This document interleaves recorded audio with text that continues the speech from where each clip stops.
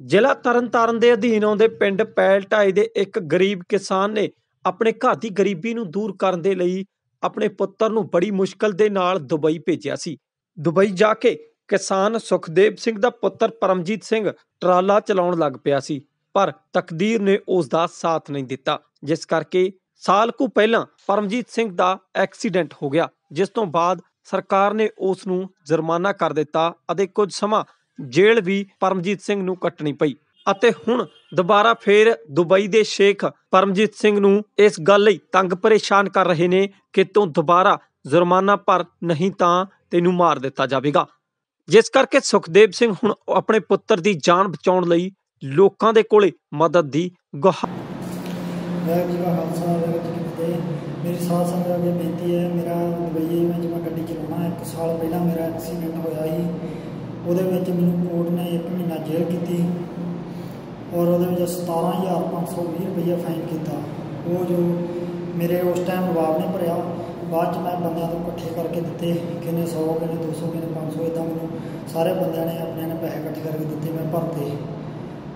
ਹੁਣ ਮੈਂ 4 ਮਹੀਨੇ ਹੋਏ ਗੱਡੀ ਚਲਾਉਣ ਡਿਆ 6 ਮਹੀਨੇ ਮੇਰਾ ਲਾਇਸੈਂਸ ਬੰਦ ਰਿਹਾ 6ਵਾਂ ਮਹੀਨਾ 12 13 ਤਰੀਕ ਨੂੰ ਮੇਰਾ ਕੇਸ ਜਿਹੜਾ ਮੇਰਾ ਲਾਇਸੈਂਸ ਦਾ ਟਾਈਮ ਪੂਰਾ ਹੋਇਆ ਤੇ ਪਿਛਲੇ ਸਾਲ ਤੋਂ 9 ਮਹੀਨੇ ਨੂੰ, ਤੇ 1 ਤਰੀਕ ਨੂੰ 9 ਮਹੀਨੇ ਮੇਰਾ ਐਕਸੀਡੈਂਟ ਹੋਇਆ ਹੈ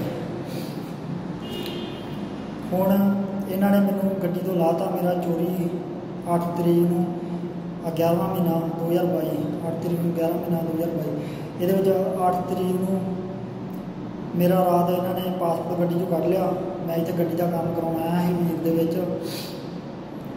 ਮੈਨੂੰ ਦਿਨੇ ਕਹਿੰਦੇ ਵੀ ਤੇਰੇ ਤੇ ਦੁਬਾਰਾ ਇੰਸ਼ੋਰੈਂਸ ਨੇ ਕੇਸ ਕੀਤਾ ਹੈ ਟਰਾਂਸਪੋਰਟ ਤੇ। ਮੈਂ ਇਹਨਾਂ ਨੂੰ ਕਿਹਾ, ਮੈਂ ਕਿਹਾ ਮੈਨੂੰ ਕੋਰਟ ਨੇ ਕਲੀਅਰ ਦਿੱਤੀ, ਮੈਂ ਬਾਰਡਰ ਨਾ ਕਿਹਾ, ਇੱਕ ਬਾਰਡਰ ਵੀ ਇਮੀਗ੍ਰੇਸ਼ਨ ਹੈ, ਜੇ ਮੈਨੂੰ ਕੇਸ ਹੁੰਦਾ ਤਾਂ ਮੈਨੂੰ ਉੱਥੇ ਰੋਕ ਦੇ ਆਉਣਾ ਇਹ ਮੰਨੇ ਹੀ ਮੰਨੇ, ਮੈਨੂੰ ਕਹਿੰਦੇ ਕੋਰਟ 'ਚ ਤੇਰੀ ਜੇ ਪੇਸ਼ੀ ਆ, ਤੈਨੂੰ ਜਾਣਾ ਪੈਣਾ। ਬਾਅਦ 'ਚ ਮੈਨੂੰ ਇਹ ਵਕੀਲ ਦੇ ਕੋਲ ਲੱਗੇ ਉੱਥੇ ਜਾ ਕੇ ਇਹਨਾਂ ਨੇ ਮੇਰੇ ਤੋਂ ਸਾਈਨ ਲੈ ਲਏ।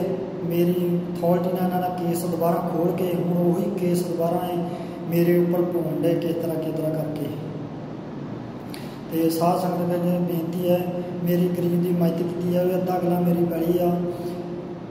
ਜਿਹੜਾ ਇੱਧਰ ਦਾ ਫਾਈਨ ਹੋਇਆ, ਇਹਨਾਂ ਨੂੰ ਟਰਾਂਸਪੋਰਟ ਨੂੰ ਇੰਸ਼ੋਰੈਂਸ ਨੇ ਕਲੇਮ ਕੀਤਾ ਆ। ਇਹਨਾਂ ਟਰਾਂਸਪੋਰਟ ਦੇ ਮੇਰਾ ਵਿੱਚ ਨਾਂ ਦਰਜ ਹੈ, ਸਾਰਾ ਮੇਰੇ ਉੱਪਰ ਸੁੱਟਦੇ ਆ।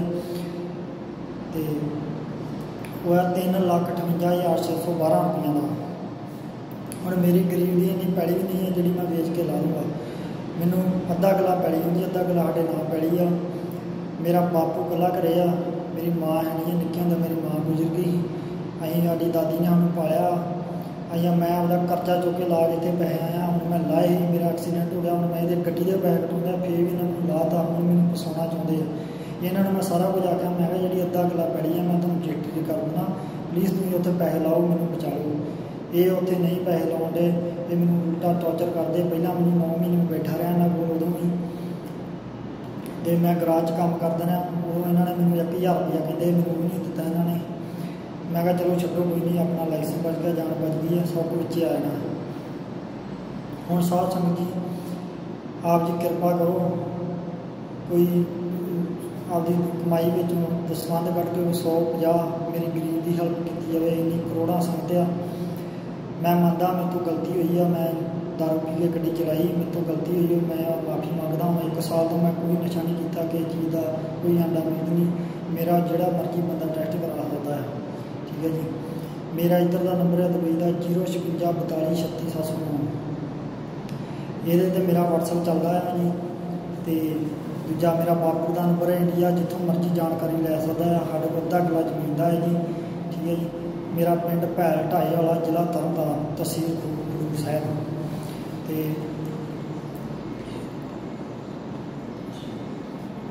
ਤੇ ਉਹਦੇ ਵਿੱਚ ਮੈਂ ਆਪਾਂ ਨੂੰ ਤੁਹਾਨੂੰ ਟਰਾਂਸਪੋਰਟ ਦਾ ਨਾਮ ਦੱਸਦਾ ਹਾਂ ਜੀ, ਠੀਕ ਹੈ ਜੀ। ਉਤਾਰ ਹੀ ਸਵੇਰੇ ਟਰਾਂਸਪੋਰਟ ਹੈ, ਜੋ ਮੈਨੂੰ ਮੇਲ ਆਈ ਇਹਨਾਂ ਨੂੰ, ਉਧਰੋਂ ਪੋਰਟਲ ਨੂੰ, ਉਹ ਵੀ ਤੁਹਾਨੂੰ ਦਿਖਾਉਣਾ ਜੀ। ਤੇ ਪਲੀਜ਼ ਮੇਰੀ ਮੇਰੀ ਦੀ ਮਦਦ ਕੀਤੀ ਜਾਵੇ, ਜਿਹੜਾ ਬੰਦਾ ਮੇਰੀ ਮਦਦ ਨਹੀਂ, ਉਹ ਮੇਰੀ ਵੀਡੀਓ ਸ਼ੇਅਰ ਕੀਤੀ ਜਾਵੇ। ਮੈਂ ਆਪਣੀ ਵੀਡੀਓ ਸੋਸ਼ਲ ਮੀਡੀਆ ਤੇ ਪਾਉਣ ਲੱਗਾ ਹਾਂ, ਮੈਂ ਇੰਡੀਆ ਮੀਡੀਆ 'ਤੇ ਲਾਉਂਗਾ। ਆਪ ਜੀ ਕਿਰਪਾ ਕਰੋ। ਜੀ ਪਲੀਜ਼ ਮੇਰੀ ਇਹ ਗਰੀਬ ਦੀ ਮਦਦ ਕੀਤੀ ਹੈ। ਹੁਣ 29 ਆ 11ਵਾਂ ਮਹੀਨਾ ਲਾਟ 29 ਤਰੀਕ ਹੈ। 29 ਤਰੀਕ ਨੂੰ ਮੈਂ ਜੇ ਉੱਥੇ ਇਹਨਾਂ ਨੂੰ ਪੈਸੇ ਨਹੀਂ ਦੇਣਾ ਬਾਬਾ ਨੂੰ, ਇਹਨਾਂ ਨੇ ਮੈਨੂੰ ਉੱਥੇ ਖੜਾ ਦੇਣਾ ਹੈ, ਜੋ ਮੇਰੇ ਤੇ ਕੇਸ ਪਵਾ ਕੇ। ਮੈਨੂੰ ਕੋਰਟ ਨੇ ਇੱਕ ਦਿਨ ਦਾ ਮੌਕਾ ਨਹੀਂ ਦੇਣਾ, ਕਿਉਂਕਿ ਮੇਰਾ ਇੱਥੇ ਕਿਹੜਾ ਕੋਈ ਕਾਰੋਬਾਰ ਹੈ ਜਿਹੜਾ ਮੈਨੂੰ ਉਹਨਾਂ ਮੌਕਾ ਦੇਣਾ ਹੈ। ਤੇ ਆਪ ਜੀ ਕਿਰਪਾ ਕਰੋ ਮੈਨੂੰ ਤੋਂ ਅੱਠਾਂ ਦਿਨਾਂ ਦਾ ਟਾਈਮ ਹੈ ਅੱਠ ਤੇ ਅੱਠਾਂ ਦਿਨਾਂ ਦੇ ਵਿੱਚ ਮੈਨੂੰ ਸਾਧ ਸੰਗਤ ਮੇਰੀ ਮਦਦ ਕੀਤੀ ਜਾਵੇ। ਮੈਨੂੰ ਕੋਈ 150 ਮੈਂ ਇੰਡੀਆ ਆਪਣੇ ਪਿੰਡ ਵੀ ਬੁਲਾਉਂਗਾ ਸਪੀਕਰ ਦੇ ਵਿੱਚ, ਗੁਰਦੁਆਰੇ 'ਚ, ਔਰ ਮੈਂ ਆਪਣੀ ਵੀਡੀਓ ਸੋਸ਼ਲ ਮੀਡੀਆ ਤੇ ਪਾਉਂਗਾ ਪਲੀਜ਼ ਮੇਰੀ ਹੈਲਪ ਕੀਤੀ ਜਾਵੇ ਕਿਸ ਤਰ੍ਹਾਂ ਦੀ। ਮੈਨੂੰ ਕੋਈ 100 50 200 ਇਦਾਂ ਕਰਕੇ ਪੈਸੇ ਇੰਡੀਆ ਦਾ 80 90 ਲੱਖ ਰੁਪਈਆ ਬੰਦਾ ਜੀ ਪਲੀਜ਼ ਮੇਰੀ ਹੈਲਪ ਕਰੋ। ਮੈਂ ਆਪਣੀ ਵੀਡੀਓ ਸਾਰੇ ਨਾਲ ਸ਼ੇਅਰ ਕਰੂੰਗਾ। ਉਹਦੇ ਵਿੱਚ ਆਹ ਮੇਰੇ ਟਰਾਂਸਪੋਰਟ ਦਾ ਨਾਮ ਆ। ਆਹ ਮੇਰੇ ਟਰਾਂਸਪੋਰਟ ਦਾ ਨਾਮ ਅਵਤਾਰੀਸ਼ ਤੇ ਅਵਤਾਰ ਮੇਰੇ ਰਵਾਲ ਦਾ ਨਾਮ ਆ। ਆਹ ਮੇਰੇ ਰਿਵਾਜ਼ ਦਾ ਨੰਬਰ ਹੈ ਜੀ। ਤੇ ਆਹ ਵਾਲੀ ਜਿਹੜੀ ਆਈ ਆ ਮੇਲ ਟਰਾਂਸਪੋਰਟ ਨੂੰ 3 ਲੱਖ 58612 ਰੁਪਏ ਦਾ। ਆਇਆ ਕੋਈ ਬੰਦਾ ਟਰਾਂਸਲੇਟ ਕਰਕੇ ਮੈਂ ਇਹਨੂੰ ਨਾਲ ਹੀ ਪਾਉਂਗਾ ਪੀਡੀਐਫ ਬਣਾ ਕੇ ਦਾ ਤੇ ਟਰਾਂਸਲੇਟ ਕਰਕੇ ਦੇਖ ਸਕਦਾ, ਮੇਰਾ ਨੰਬਰ ਲਿਖਿਆ, ਮੇਰਾ ਨਾਮ ਹੈ ਵਿੱਚ। ਟਰਾਂਸਪੋਰਟ ਨੂੰ ਮੇਲ ਆਈ ਹੈ ਮੇਰੇ ਫੋਨ ਤੇ ਕੋਈ ਮੇਲ ਨਹੀਂ ਆਈਗੀ ਇਹ ਲੋਕ ਮੇਰੇ ਤੇ ਪਾਉਣਾ ਚਾਹੁੰਦੇ ਆ ਪਲੀਜ਼ ਸਾਧ ਸੰਗਤ ਮੇਰੀ ਉਹ ਗਰੀਬ ਦੀ ਮਿਹਨਤ ਆ। ਮੇਰਾ ਘਰੇ ਬਾਪੂ ਰੁੱਲ ਜੂਗਾ ਜੇ ਮੈਨੂੰ ਸਜ਼ਾ ਹੋਈ ਠੀਕ ਹੈ ਜੀ। ਮੇਰੇ ਤੋਂ ਇੰਨੀ ਪੈਲੀ ਵੀ ਜਿਹੜੇ ਮੈਂ ਵੇਚ ਕੇ ਆਪਣੇ ਪੈਸੇ ਭਰ ਕੇ ਛੁੱਟ ਦੂੰਗਾ ਕਿਦੋਂ ਮੇਰੀ ਨਹੀਂ ਆ ਸੰਗਤ ਸਾਧ ਸੰਗਤ ਮੇਰੀ ਮਦਦ ਕਰ ਸਕਦੀ ਹੈ। ਵਾਹਿਗੁਰੂ ਜੀ ਕਾ ਖਾਲਸਾ ਵਾਹਿਗੁਰੂ ਜੀ ਕੀ ਫਤਿਹ। ਦੂਜੇ ਪਾਸੇ ਪਰਮਜੀਤ ਸਿੰਘ ਨੇ ਵੀ ਆਪਣੀ ਮਦਦ ਲਈ ਦੁਬਈ ਤੋਂ ਇੱਕ ਵੀਡੀਓ ਬਣਾ ਕੇ ਪੰਜਾਬੀਆਂ ਨੂੰ ਮਦਦ ਦੀ ਗੁਹਾਰ ਲਗਾਈ ਹੈ। ਹਾਂਜੀ ਭਾਜੀ ਕੀ ਨਾਂ ਤੁਹਾਡਾ ਜੀ? ਸੁਖਦੇਵ ਸਿੰਘ ਜੀ। ਸੁਖਦੇਵ ਸਿੰਘ ਜੀ ਕਿਹੜਾ ਪਿੰਡ ਤੁਹਾਡਾ? ਪੈਲ ਤੁਹਾਡੇ ਨੌਜਵਾਨ ਦੀ ਹਾਂ। ਵੀਡੀਓ ਸੋਸ਼ਲ ਮੀਡੀਆ ਤੇ ਵਾਇਰਲ ਹੋ ਰਹੀ ਆ। ਹਾਂਜੀ। ਉਹਦੇ ਵੱਲੋਂ ਦੱਸਿਆ ਜਾ ਰਿਹਾ ਕਿ ਮੈਂ ਜਿਹੜਾ ਦੁਬਈ ਦੇ ਵਿੱਚ ਹਾਂਜੀ। ਫਸਿਆ ਵਾਂ ਕੀ ਹੈ ਫਸਿਆ। ਸਾਰਾ ਮਸਲਾ ਜੀ? ਮਸਲਾ ਇਹ ਆ ਬਈ ਉਹਦਾ ਪਹਿਲੋਂ ਸਾਲ ਇੱਕ ਪਹਿਲੋਂ ਐਕਸੀਡੈਂਟ ਹੋਇਆ ਹੈ ਤੇ ਉਹ ਸ- ਕ- ਜੋ ਜੁਰਮਾਨਾ ਉਹਨੇ ਭਰਿਆ ਸਾਲ ਦੀ ਉਹ 9 ਮਹੀਨਿਆਂ ਤੇ ਉਹਦਾ ਲਾਇਸੈਂਸ ਵੀ ਬੰਦ ਰੱਖਿਆ ਤੇ ਮਹੀਨੇ ਦੀ ਸਜ਼ਾ ਵੀ ਹੋਈ ਸੀ ਉਹਨੂੰ। ਤੇ ਉਹ ਸਭ ਕੁ ਕਲੀਅਰ ਹੋ ਗਿਆ। ਤਾਰਤਾ ਉਹਨੇ। ਹੁਣ ਫੇਰ ਇਨਸ਼ੋਰੈਂਸ ਕੰਪਨੀ ਉਹਨਾਂ ਕੰਪਨੀ ਤੇ ਕਰਦੀ ਆ। ਦੂਜਾ ਮਾਰਾ ਫੈਨ ਪੈਸੇ ਪਾਉਂਦੀ ਆ। ਉਹ ਇਹਦੇ ਗੱਲ ਮਰਦੇ ਆ। ਧੱਕੇ ਨਾਲ। ਹਾਂਜੀ। ਕਿੰਨੀ ਅਮਾਉਂਟ ਆ ਜਿਹੜੀ ਹੁਣ ਇਹ ਕਹਿ ਰਿਹਾ ਇਹਨੂੰ ਤਾਰਨ ਲਈ? ਇਹ 80 80 70 80 ਲੱਖ ਰੁਪਈਆ ਆਂਦੇ ਆ ਇਹਨੂੰ। ਇਹ ਕਿੱਥੋਂ ਗਰੀਬ ਆ ਪਰਿਵਾਰ ਆ ਅਸੀਂ। ਇਹ ਕਿੱਥੋਂ ਤਾਰ ਸਕਦਾ? ਤੇ ਧੱਕੇ ਨਾਲ ਵਸਾਉਣ ਡਏ ਆ। ਸਾਡੀ ਹੈਲਪ ਕੀਤੀ ਜਾਵੇ ਬਾਹਰਲੀਆਂ ਕੰਟਰੀਆਂ ਜੋ ਸਹਾਇਤਾ ਕਰਨ ਸਾਡੀ ਮਿਹਰਬਾਨੀ ਬਹੁਤ ਹੋਊਗੀ। ਪਰਿਵਾਰ ਦੇ ਵਿੱਚ ਬਾਬਾ ਜੀ ਕੌਣ ਕੌਣ ਰਹਿੰਦੇ ਤੁਸੀਂ? ਪਰਿਵਾਰ ਦੇ ਵਿੱਚ ਇਹੋ ਮਾਤਾ ਮੇਰੀ ਤੇ ਇੱਕ ਮੇਰਾ ਛੜਾ ਭਰਾ ਆ ਤੇ ਗਰੀਬ ਪਰਿਵਾਰ ਆ। ਤੁਹਾਡੀ ਵਾਈਫ ਘਰ ਵਾਲੀ ਨਹੀਂ ਹੈਗੀ ਜੀ? ਉਹ ਮਰ ਗਈ ਨਿੱਕੇ ਹੁੰਦੇ ਇਹਨੇ ਪਾਲੇ ਦਾਦੀ ਨੇ ਪਾਲੇ ਆ। ਅੱਛਾ ਜੀ। ਤੇ ਡੈਡੀ ਵੀ ਮੁੜ ਕੇ ਛੇਤੀ ਪੂਰਾ ਹੋ ਗਿਆ। ਕਿੰਨੇ ਬੱਚੇ ਤੁਹਾਡੇ? ਦੋਵੇਂ ਬੱਚੇ ਕੀ ਨਾਮ ਉਹਨਾਂ ਦਾ? ਇੱਕ ਦਾ ਆਹ- ਆਹ ਜਗਪ੍ਰੀਤ ਆ ਇੱਕ ਦਾ ਪਰਮਜੀਤ ਇਹ ਪਰਮਜੀਤ ਮੁ- ਮੁੱਖ ਮੰਤਰੀ ਭਗਵੰਤ ਸਿੰਘ ਮਾਨ ਨੂੰ ਕੀ ਮਿਲ ਸਾਡੀ ਬੇਨਤੀ ਆ ਤੇ ਸਾਡੀ ਹੈਲਪ ਕਰੇ ਤੇ ਜਿੰਨੀ ਵੀ ਹੋ ਸਕਦੀ ਆ। ਤਗੜਾ ਹੋ ਕੇ ਉਥੋਂ ਮੇਰੇ ਪੁੱਤ ਨੂੰ ਕਿੰਨੀ ਕੁ ਤੁਹਾਡੇ ਕੋਲ? ਪੁੱਤ ਨੂੰ ਕਢਾਵੇ ਅੱਧਾ ਕਿੱਲਾ ਜ਼ਮੀਨ ਸਾਰੀ। ਕਰਜ਼ਾ ਚੁੱਕ ਕੇ ਮੈਂ ਘੱਲਿਆ ਭੇਜਿਆ। ਤੇ ਬਹੁਤ ਜ਼ਿਆਦਾ ਮੈਂ ਦੁਖੀ ਹਾਂ ਸਾਡੀ ਹੈਲਪ ਕੀਤੀ ਕੀ ਜਾਵੇ। ਬੇਨਤੀ ਕਰਨੀ ਚਾਹੁੰਦੇ ਸਰਕਾਰਾਂ ਨੂੰ? ਸਰਕਾਰਾਂ ਨੂੰ ਇਹ ਬੇਨਤੀ ਕਰ- ਕਰਨਾ ਚਾਹੁੰਦੇ ਆ ਵੀ ਸਾਡੀ ਜਿੰਨੀ ਵੀ ਹੈਲਪ ਕਰਕੇ ਬੱਚਾ ਮੇਰਾ ਕਢਾਇਆ ਜਾਵੇ ਉੱਥੋਂ ਕੀ ਨਾਮ ਜੀ? ਮੇਰਾ ਨਾਂ ਸੁਖਵਿੰਦਰ ਸਿੰਘ, ਪਿੰਡ ਪੈਲ ਟਾਏ ਵਾਲਾ। ਵੀਡੀਓ ਦੇਖੀ ਸੀ ਅਸੀਂ ਕੁਝ ਦਿਨ ਬਾਅਦ, ਬੱਚੇ ਨੇ ਪਾਈ ਸੀ ਬਾਹਰ ਤੋਂ ਦੁਬਈ ਤੋਂ। ਉਹਨਾਂ ਨੂੰ ਕੋਈ ਫੈਨ ਪੈ ਰਿਹਾ ਵਾ, ਕੋਈ ਐਕਸੀਡੈਂਟ ਕਹਿੰਦੇ ਸੀ ਹੋਇਆ ਪਹਿਲਾਂ ਤੇ ਉਹਦਾ ਫੈਨ ਉਹਨਾਂ ਭਰਤਾ ਸੀ ਸਾਰਾ। ਠੀਕ ਆ, ਹੁਣ ਦੁਬਾਰਾ ਫਾਈਲ ਉਹਦੀ ਕੱਢੀ ਗਈ ਆ ਤੇ ਉਹਨੂੰ 70 80 ਲੱਖ ਰੁਪਈਆ ਪਾ ਰਹੀ ਆ। ਗਵਰਨਮੈਂਟ ਉੱਥੋਂ ਦੀ ਜਾਂ ਜਿਹੜੇ ਕੰਪਨੀ ਵਾਲੇ ਉਹ ਪਾ ਰਹੇ ਆ ਤੇ ਇਹ ਨਾ ਭਰਨ ਜੋਗੇ ਹੈ ਨਹੀਂਗੇ ਹੁਣ ਇਹਨਾਂ ਦੀ ਮਦਦ ਕੀਤੀ ਜਾਵੇ, ਜਿਵੇਂ ਜਿੰਨੀਆਂ ਵੀ ਸੰਸਥਾ ਹੈਗੀਆਂ ਜਾਂ ਗਵਰਨਮੈਂਟ ਵਾ, ਪੰਜਾਬ ਭਗਵੰਤ ਮਾਨ ਉਹ ਇਹ 'ਤੇ ਗੌਰ ਕਰਕੇ ਅਤੇ ਇਹਨਾਂ ਦੀ ਬੱਚੇ ਦੀ ਸਾਰ ਲਈ ਜਾਵੇ ਉੱਥੇ ਬੈਠਿਆਂ ਦੀ ਬਾਹਰਲੀ ਅਤੇ ਇਹਨਾਂ ਆਪਣੀ ਜ਼ਮੀਨ ਗਹਿਣੇ ਰੱਖ ਕੇ ਜਾਂ ਕਿਸ ਤਰ੍ਹਾਂ ਵੀ ਬੱਚੇ ਨੂੰ ਭੇਜਿਆ ਵਾ ਕਮਾਈ ਕਰਨ ਵਾਸਤੇ ਅਤੇ ਪਰ ਉਹ ਹੁਣ ਉੱਥੇ ਜੇ ਨਹੀਂ ਉਹਦੇ ਭਰਦੇ ਹੈਗੇ, ਤੇ ਉਹਨੂੰ ਜੇਲ੍ਹ ਕੱਟਣੀ ਪਊਗੀ। ਦੇਖੋ ਕਿੰਨੀ ਕੱਟ ਕ- ਕੱਟਣੀ ਪੈਣੀ ਆ, ਦਸ ਸਾਲ ਆ, ਪੰਜ ਸਾਲ ਆ ਅਤੇ ਇਹਦੇ ਇੱਥੇ ਪਿਓ ਮਰ ਜੂਗਾ, ਦਾਦੀ ਇਹਨਾਂ ਦੀ, ਉਹ ਬੈਠੀ ਇਕੱਲੀ, ਉਹਨੂੰ ਉਹ ਵੀ ਨਹੀਂ ਪਤਾ ਹੈਗਾ ਕੀ ਹੈ ਕੀ ਨਹੀਂ। ਛੋਟੇ ਛੋਟੇ ਬੱਚੇ ਹੈਗੇ ਸੀ, ਇਹ ਚੌਂ ਚੌਂ ਪੰਜਾਂ ਪੰਜਾਂ ਸਾਲਾਂ ਦੇ ਜਦੋਂ ਇਹਨਾਂ ਦੀ ਮਾਂ ਮਰ ਗਈ।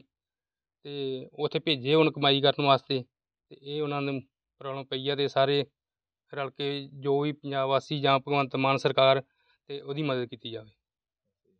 ਨਾਂ ਮੇਰਾ ਨਾਮ ਰਸਪਾਲ ਸਿੰਘ ਭੈਲ। ਆਜ਼ਾਦ ਕਿਸਾਨ ਸੰਘਰਸ਼ ਕਮੇਟੀ ਪ੍ਰਧਾਨ ਹਾਂ ਮੈਂ ਪਿੰਡ ਭੈਲਾਂ ਤੋਂ। ਕੀ ਮਸਲਾ ਜਿਹੜਾ ਤੁਹਾਡਾ ਨੌਜਵਾਨ ਪਿੰਡ ਦਾ ਵਿਦੇਸ਼ ਫਸਿਆ ਜੀ? ਇਹ ਮਸਲਾ ਨਾ ਜੀ ਪਹਿਲੋਂ ਸਾਲ ਕੁ ਪਹਿਲੋਂ ਇਹਦੇ ਕੋਲ ਗੱਡੀ ਲੱਗ ਗਈ। ਉਹਦੇ ਸਬੰਧ ਦੇ ਵਿੱਚ ਇਹਨੂੰ ਜਿਹੜੀ ਸਜ਼ਾ ਸੀ ਫੈਨ ਸੀ ਉਹ ਵੀ ਇਹਨੇ ਭਰਿਆ ਵਾ।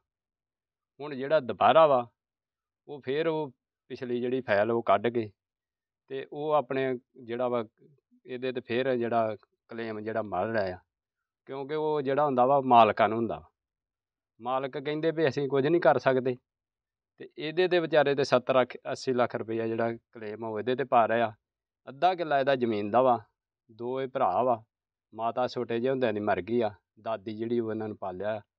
ਤੇ ਅੱਧਾ ਕਿੱਲਾ ਜ਼ਮੀਨ ਦਾ ਵਾ ਅਸੀਂ ਇਹ ਕਹਿੰਦੇ ਹਾਂ ਵੀ ਨਾ ਤਾਂ ਵਿਚਾਰੇ ਜ਼ਮੀਨ ਵੇਚ ਕੇ, ਨਾ ਉਹਦਾ ਘਰ ਵੇਚ ਕੇ ਪੂਰਾ ਕਰ ਸਕਦੇ ਆ।